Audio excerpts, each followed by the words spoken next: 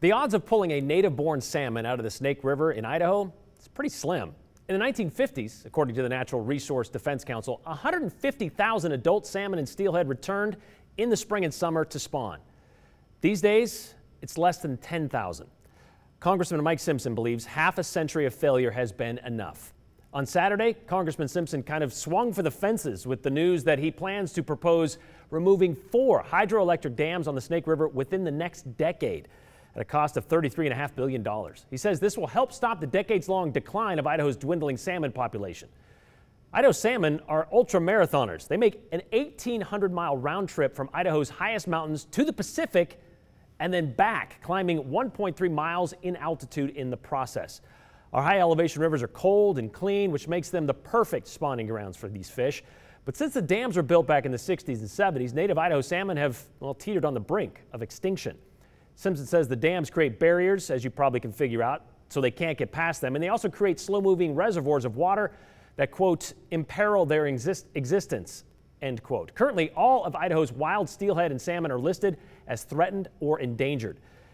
He says we've already spent $17 billion on salmon recovery and management, but only about 4% of the historical total actually have returned to spawn in Idaho. About 3,800 wild adult spring Chinook salmon in 2019 to be specific. And we used to see tens of thousands of these. However, those dams provide flood mitigation, irrigation to farmland, and the West Coast's farthest inland port in Lewiston. They also have power supplied to millions of people across the Northwest. Simpson says part of that $33.5 billion would go towards funding or finding ways to replace the dam's key roles in energy, agriculture, and transportation. Here's what he had to say about that. My staff and I approached this challenge with the idea that there must be a way to restore Idaho salmon and keep the four lower Snake River dams. But after exhausting dozens of possible solutions, we weren't able to find one that could control poor ocean conditions, warming rivers, and the four lower Snake dams. In the end, we realized there is no viable path that can allow us to keep the dams in place. I want to be clear that I'm not certain removing these dams will restore Idaho's salmon and prevent their extinction. But I am certain that if we do not take this course of action, we are condemning Idaho salmon to extinction. There's the other cost of that too. The salmon of saving them would likely reshape waterfronts in both Lewiston and Clarkston.